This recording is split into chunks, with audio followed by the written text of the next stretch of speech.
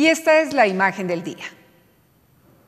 Tiene que ver con el reclamo de la ciudadanía en varios sectores de la ciudad ante la reinante inseguridad que genera temor en Pasto.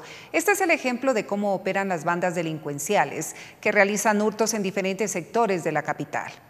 En este video quedó registrado como dos jóvenes hombres hurtan con arma blanca los objetos personales a una pareja que se encuentran en la puerta de ingreso a su casa. Dos hombres más se encuentran en motocicletas listos a transportar a los implicados en el hurto. Una imagen que se repite en todos los rincones de Pasto. Este hecho se presentó en el sector del barrio San Miguel sobre la avenida Boyacá. La ciudadanía solicita con urgencia la presencia de la Policía Metropolitana.